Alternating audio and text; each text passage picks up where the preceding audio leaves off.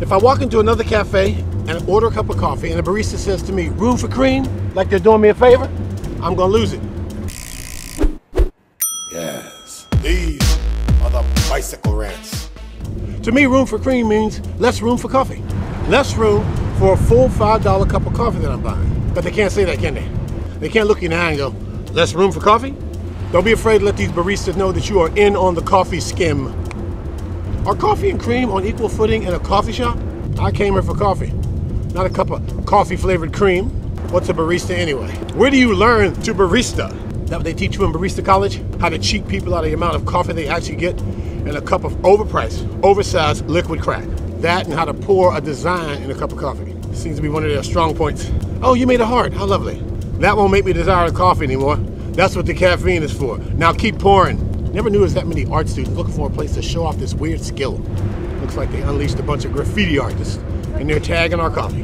Whatever you do, don't let them put the cream in the coffee for you. Ever have a barista pour the cream in the cup first and then the coffee? What the hell's that move? Now you can't tell how much coffee you're getting. They come up with all these techniques and creamers and substitutes to try to drive a wedge between you and a full cup of coffee. Everybody knows you can't milk an almond. I pay $6 for a cup of coffee. I want it filled to the venti top. 20 ounces of coffee first. That's the foundation of our relationship. You let me worry about the cream. How do you take your coffee full? You'll be in charge of pouring the boiling hot, marked up drug liquid that you're passing off as a beverage. Supposedly made from the finest beans, flown from countries all over the world. Sometimes these places, they don't even have drinking water. Yet they can grow the most exotic coffee beans. Is this why the coffee is so expensive? Because the beans are from so far away? How about you leave those beans there in those countries? Let those people enjoy that coffee. And you get us some beans over here, stateside. Maybe you can knock a few dollars off this cup of coffee.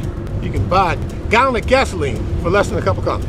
Same size bottle of water, even cheaper. Are we so hopped up that we think coffee is some miracle elixir that deserves this spot at the top of the liquid chain? It's King Fluid coffee.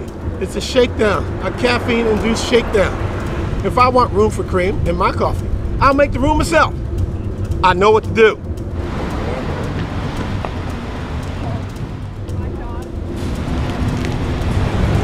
Perfect.